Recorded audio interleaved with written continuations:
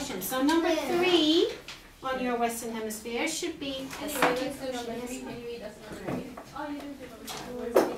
Number three? Pacific. You don't have to write the word ocean if you don't want to. it's not on your.